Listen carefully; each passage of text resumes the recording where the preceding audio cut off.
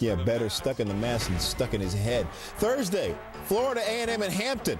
A&M fumbles the ball, and then, well, everybody else does the same thing. Takes a big hit, the ball comes loose. Ball still on the ground, still loose. It's still loose. It's still loose. FAMU might It's have still it. loose. It's It's still out loose, and it goes out of bounds. Missed opportunity by both teams to recover the football.